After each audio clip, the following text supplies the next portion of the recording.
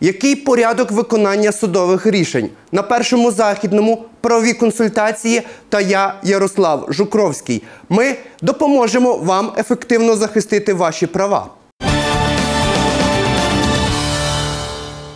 Виконання судового рішення як завершальна стадія судового провадження є невід'ємним елементом права на судовий захист. Це право передбачене у статті 6 Конвенції про захист прав і основоположних свобод. Окрім цього, Конституція України гарантує, судові рішення є обов'язковими до виконання, і держава зобов'язана забезпечити виконання судового рішення. Практика Європейського суду з прав людини говорить, що право на справедливий суд є ілюзорним, якщо судове рішення залишається невиконаним. Отже, насправді судове рішення нічого не варте, якщо воно не виконується. В Україні середній рівень виконання судових рішень за різними даними становить від 5 до 18%. А що робити і як діяти, щоб судове рішення було виконане?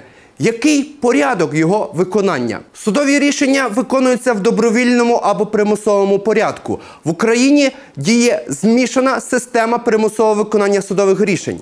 А це означає, що судові рішення можуть виконувати як державні, так і приватні виконавці. Але Тут є особливості. Приватні виконавці не можуть виконувати судові рішення, які стосуються відібрання і передання дитини, встановлення побачень з нею або усунення перешкод у побаченні з дитиною, рішень, за якими боржником є держава, державні органи чи органи місцевого самоврядування, рішень, за якими стягувачами є держава, державні органи, рішень адміністративних судів, рішень, які передбачають вчинення дій щодо майна державної чи комунальної власності і судових рішень про виселення чи вселення фізичних осіб, чи в інших випадках, які чітко передбачені законом.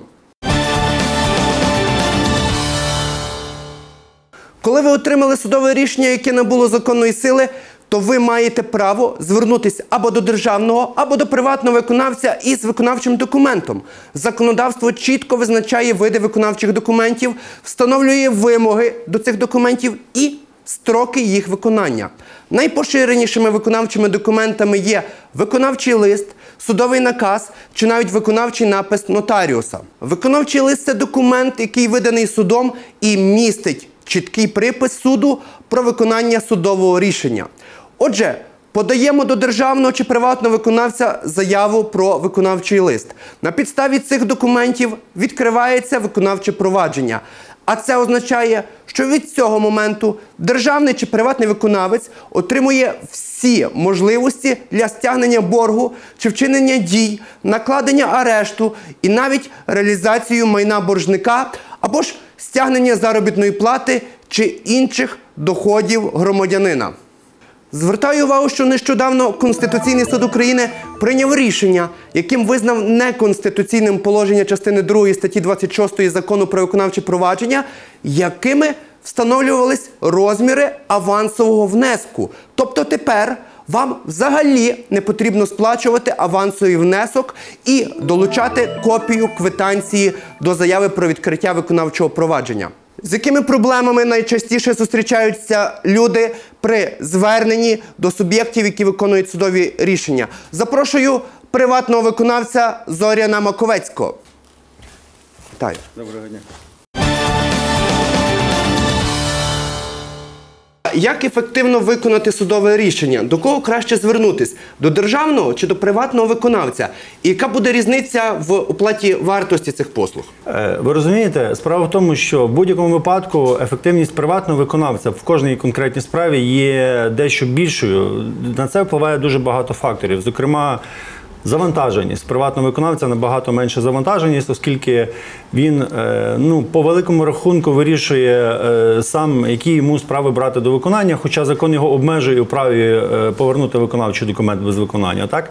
А також є один з основних факторів це його мотивація для виконання судового рішення, оскільки від фактичного виконання рішення суду залежить саме його прибуток, його дохідність його результат, його роботи як для нього. Добре, а звичайній людині доведеться більше заплатити приватному виконавцю? Е, Жодним чином не так. Е, Закон України про виконавче провадження не передбачає додаткових коштів при зверненні стягнення до приватного виконавця як громадянину. Так?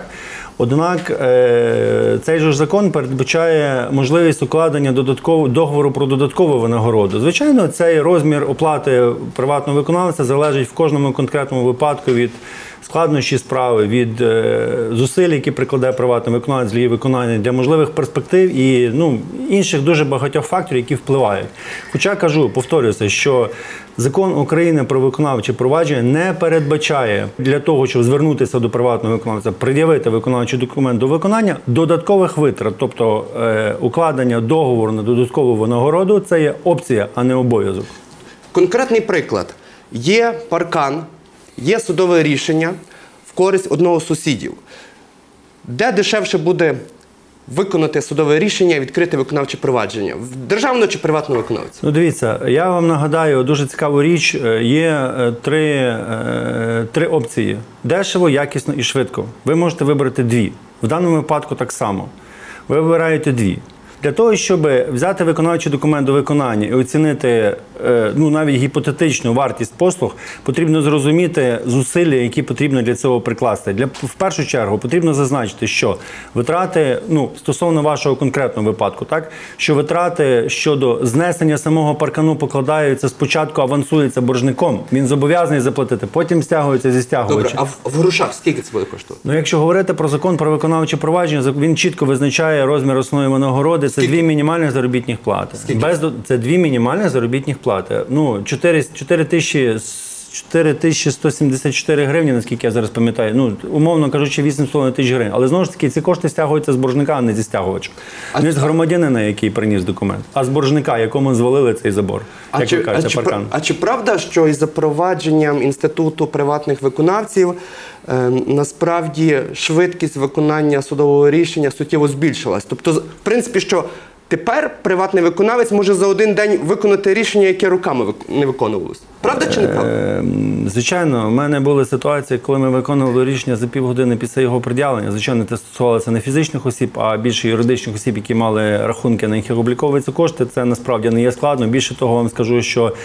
Теоретично, якщо розгрузити державну виконавчу службу від е, цього, цього напливу непотрібної інформації, непотрібної роботи, Державна виконавча служба- теж має інструменти для ефективного виконання судових рішень. Подекуди навіть більше інструментів вони мають, чим надані повноваження приватному виконавцю. Добре, а, а чому державні виконавці не працюють настільки ефективно, як приватні виконавці? Е, Ну тому що в першу чергу це ну я можу сказати зі свого досвіду роботи в державній службі. Це стосується в першу чергу мотивації по оплаті праці.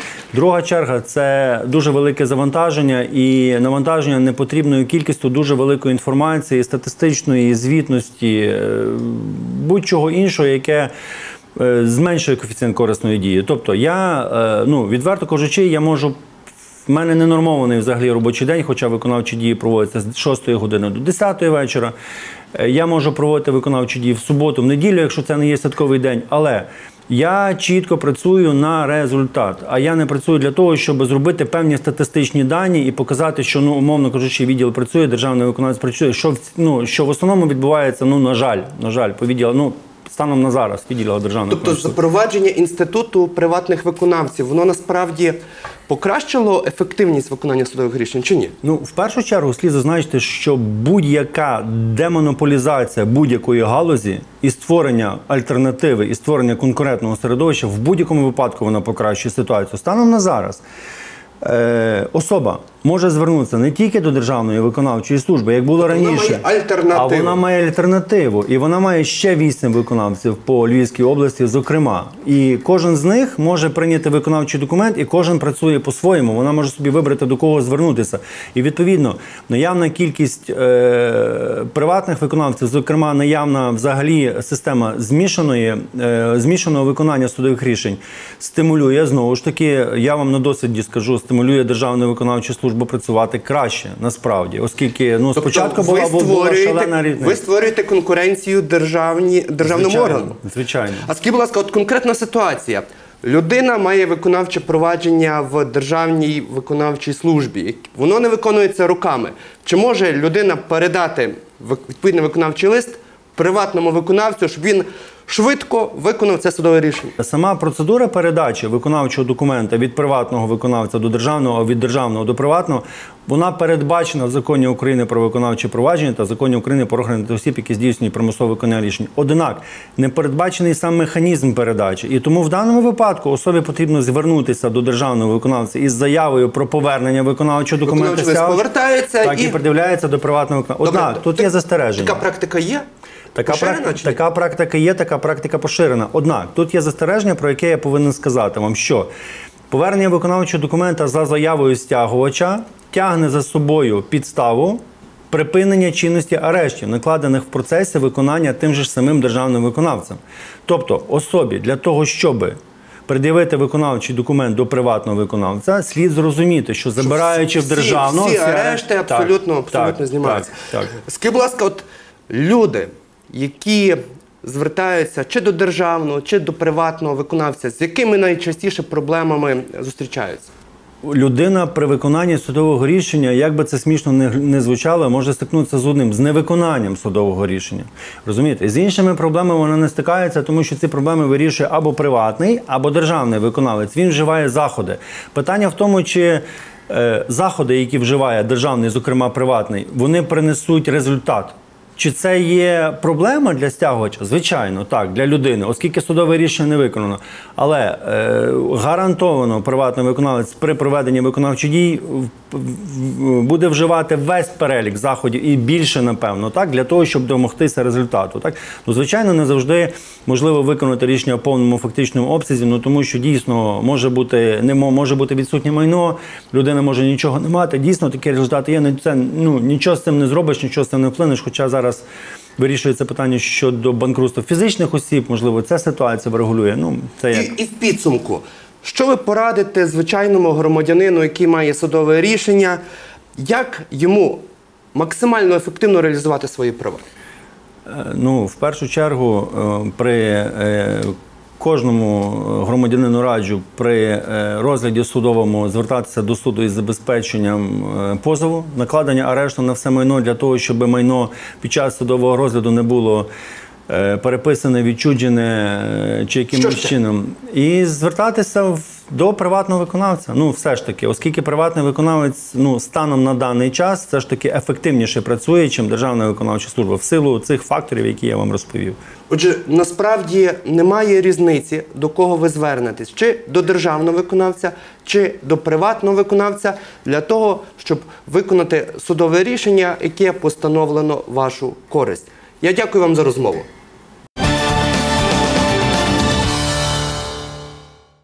Хочу зазначити, що з моменту відкриття виконавчого провадження кожного боржника автоматично вносять до єдиного державного реєстру боржників, який є відкритим ресурсом, і будь-хто може перевірити, чи щодо вас є відкрите виконавче провадження, чи ви є чи не є боржником. Саме тому маю дуже просту пораду. Якщо є судове рішення, яке набуло законної сили, то найкраще його виконати у добровільному порядку, без залучення державних чи приватних виконавців та стягнення немалих виконавчих зборів. Для прикладу, у розмірі 10% від суми, що підлягає примусовому стягненню. Отже, коли ви отримали судове рішення у вашу користь, то ви маєте право звернутися до державного чи приватного виконавця із виконавчим листом, і ці уповноважені особи зобов'язані забезпечити повне виконання відповідного судового рішення. Державні та приватні виконавці для виконання судового рішення можуть накладати арешти, стягувати кошти з доходів і заробітної плати, реалізовувати майно боржника і навіть по окремих провадженнях забороняти громадянину виїздити за кордон. Але що робити, якщо судове рішення не виконується? За будь-яких обставин однозначно оскаржувати відповідні дії чи бездіяльність до суду і вимагати повного виконання судового рішення. Захищайте свої права разом з першим західним.